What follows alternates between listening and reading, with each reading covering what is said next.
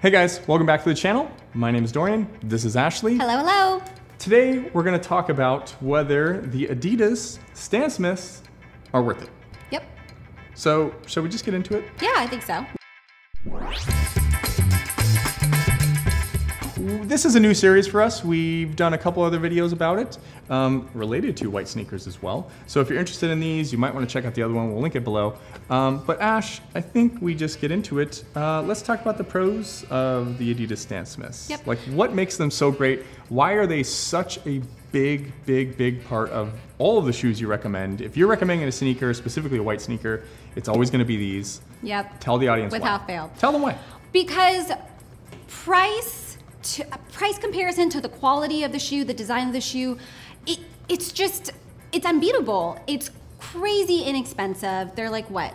80 It depends. Yeah, it could be like know. 70 to 80, to 90. Sometimes you can find them on sale. Mm-hmm. So, the, but the price is super, super inexpensive, under a hundred bucks. It's a pretty clean design. Um, it's all white, pretty much, and then you can also the back of it. This is an all white. This is The the, triple- triple, white. triple white, yeah. um, but you can also get it in green, blue. They have like a salmon Red, pink, red, red, yeah. a bunch of different colors that you can kind of just personalize it to, Sure. to your personality and to your sense of style. But it's a really clean silhouette, slim profile, round toe, not too bulky, not too slim.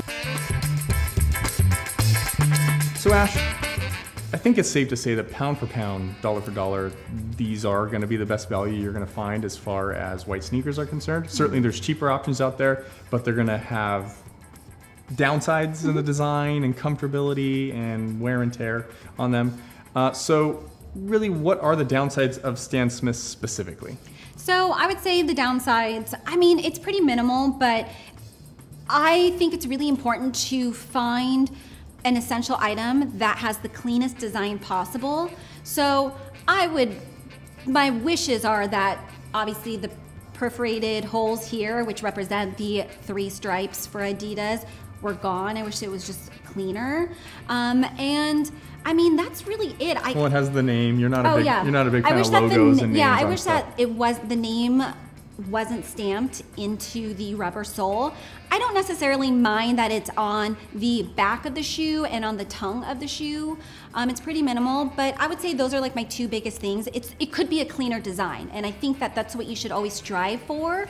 Um, when you have when you're filling your closets up, a closet up with essential items. Closets, mini.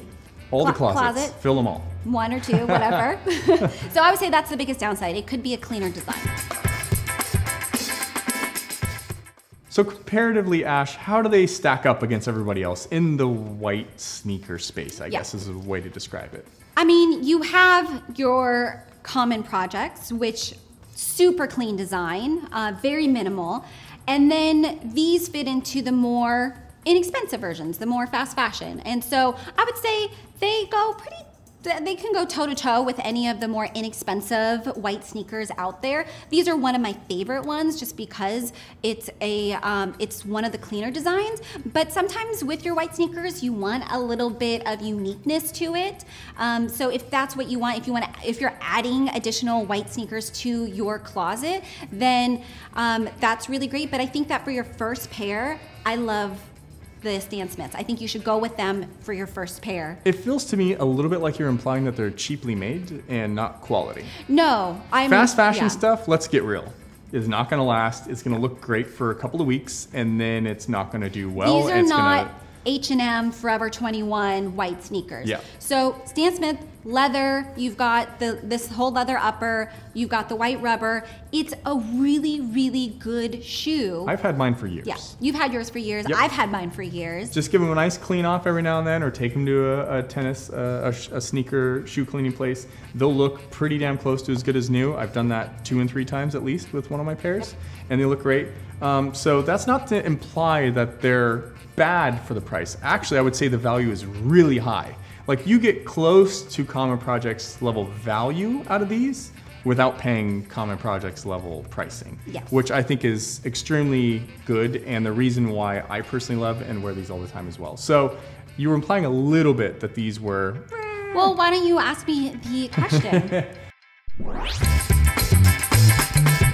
Are they worth it? Oh, I was like, what are we getting into? Are they worth it? That is the question that I need to answer. And I will say 100% without reservation, without hesitation, they are definitely worth it.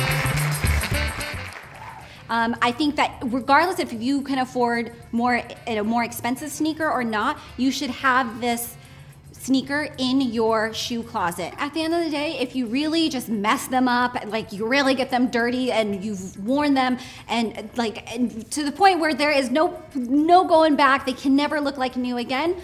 Guess what? You can easily buy another pair and it's not going to break the bank. So that's why I think that you should definitely have them regardless if they're your first pair, second pair, third pair, fourth pair.